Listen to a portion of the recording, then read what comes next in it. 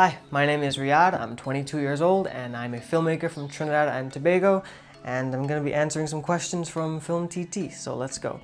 How old are you and how long have you been working in the film industry? 22 and I've been making videos since I was like 12, yeah, 12 years old on YouTube and I've just gotten better and better as the years have gone on. When did you realize you wanted to work in the film industry and how did you start? I started when I was around 12 years old and I kind of discovered YouTube and YouTubers for the first time and it inspired me to do YouTube and funny comedy videos myself and that's kind of where I started. Um, and I realized I wanted to do this since I was like 14. Like I had a lot of hobbies that kind of came and went during that time and I guess my parents even noticed that I really clinged on to just making YouTube videos and stuff like that and they actually encouraged me to continue doing it. So when I was 14 I even if I didn't know what it even meant at the time I just knew like I wanted to make films I wanted to make movies in the future and that would make me happy you know? What was your first production job that you worked on and what was it like? First production job? Well in terms of productions that I've done it's been myself. I usually do it with myself and my cousin, who's my go-to actor. It's usually the two of us. It's kind of like a one and two man job most of the time. Um, so it's really just our productions that we work on. And over the years, I mean, like I said, we've just gotten bigger and better and uh, we've gotten new equipment and stuff like that. So the production quality has definitely increased. Tell us about Riyality Studio. What is your vision? How have you merged your passion with business? My vision, I just, I just want to make movies. want to make uh, films and TV shows, whether that be here or internationally. And I want to showcase our own local stories and culture internationally as well, because I think Trinidad and the Caribbean is very diverse and we have a lot of unique stories to tell that we honestly probably don't see a lot of in mainstream and stuff like that. So I kind of want to take filmmaking in Trinidad to that next level and to that international level, you know, and showcase really what kind of talent Trinidad has in this, uh, you know, in this sector, which is film. In 2020, I started doing videography as a way to support myself financially and uh, reinvest back into filmmaking and stuff, right?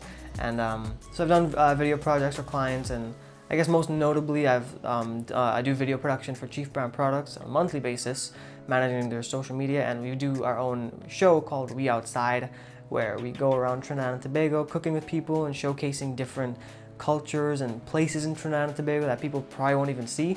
I guess it satisfies me creatively because I'm, I'm happy to, again, showcase Trinidad and Tobago in the way that we do with the show. How has the pandemic encouraged you to explore film otherwise? Well, I mean, for me, the productions that I've done as of now at this level, like I said, it's just with my cousin and I. It's really like a DIY, no budget, guerrilla type filmmaking, just the two of us, just one to two man job you know, so I guess it really hasn't affected us as much uh, as uh, it may have affected other people with like big crews and you know all that kind of stuff. But um, I mean, with a lot of the time that I've had, I mean, I've, I've written, and I've written quite a bit. I've taken the time to write as well. So now in 2022, I'm happy to kind of push that over to the edge and finally get into the production of some of those things that I've, I've been writing for a long time. What inspired you to make your short If Batman Was a Trini? Also, how long did it take? What was the filming process like? Um, well, it was around mid-February and it took around a month and a half to make. And at that time, I, I, I kind of didn't make anything on YouTube for a while because I've been busy with Chief and uh, doing shows and video projects. So I wanted to kind of get back into the social media space. And um, I remember I remember Batman was coming up at the time, and I'm like, oh, I did a Batman in Trinidad video in 2019 before, so I can repurpose some stuff for TikTok, and you know, people could see that. And then I kind of had an epiphany. I'm like, why don't I just make a new one? Like, you know, the, the, the newfound skills that I have, the, I guess, higher level in filmmaking that I am at and the more equipment that I have, what if I make something brand new? So I got right to work and my cousin was excited to play Batman again, so I got him on board. The filming process, um, it's funny, we thought it would take a day. He comes early in the morning, we finish late at night. But instead it took three days of that. And it was hard because in the night, it, uh, it just kept raining when we were filming outside over there. I had to bag up all my equipment and it's a one man, one or two man show. So we're wearing all the hats with all the, you know, the lighting and cinematography and we're acting and I'm directing and everything. So, oh my goodness, it was a, it was an ordeal. It was hard, but um, we're happy with how it came out in the end. And honestly, we we, we would do it all again. What platforms do you use the most and how has engagement been?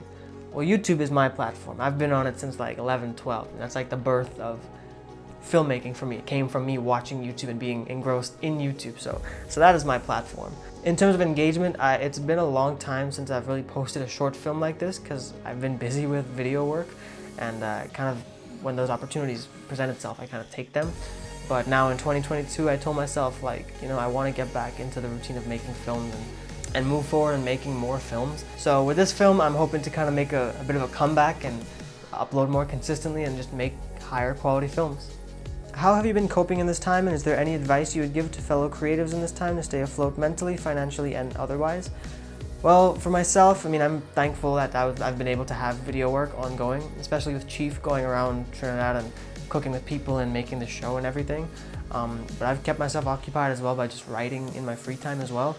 And I would suggest to, to do the same with uh, my fellow creatives to just continue to stay creative, you know, and to write in the downtime and you know, to set yourself up for the future, you know, because I mean, your, your creativity today can set you up for years to come, you know, something you write today, if you're in a good mood, I mean, in a couple years time, you look back on it, I mean, you're to be happy you wrote it, you know what I mean? So just like me with projects that I have right now, I'm happy that I took the time to, uh, to write a lot in 2020 and 2021, so I would suggest just to continue being creative.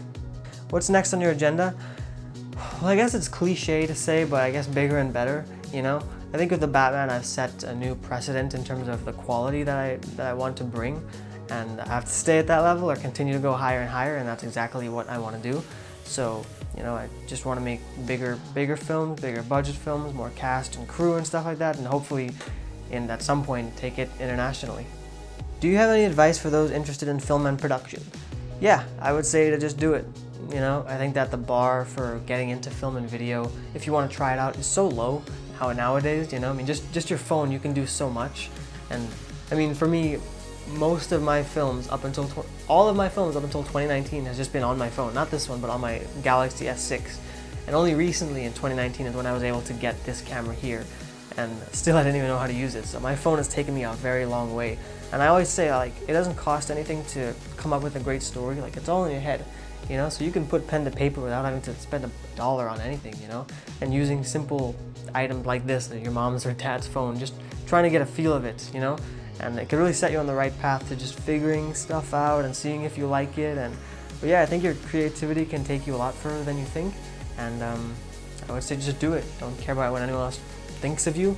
Just if it makes you happy just do it. That's what I did for me and I'm currently happy doing what I'm doing right now so thank you to Film TT for this interview and um, a lot more films to come, a lot more higher quality stuff to come. So I'm excited to showcase that to everyone in the future. That's it. Peace. I'm fasting right now and I can't drink water. Oh my God.